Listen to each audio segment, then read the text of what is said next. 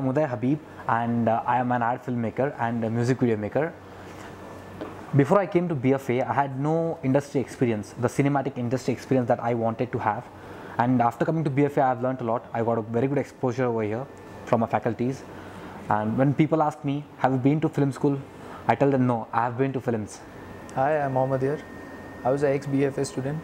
Joining BFA gave me a lot of confidence and knowledge about cinema. This confidence helped me to approach new direct, uh, directors in Malayalam cinema.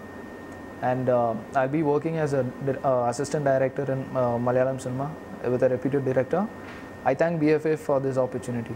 Hello, hi, my name is Siddharth and I happen to be a student of this particular institute, that's the BFA, that's Bangalore Film Academy. So it's been six months since that I've been a part of this institute. Um, I'm really glad today that I am successful in my life. I started my career with this institute and I have been trained by the famous directors who are currently in the industry. And this gives me a better knowledge. Not only knowledge, I've also gained contacts. With this particular platform, I'm sure I'll be able to reach great heights in future. I really thank Bangalore Film Academy for this wonderful opportunity. Thank you.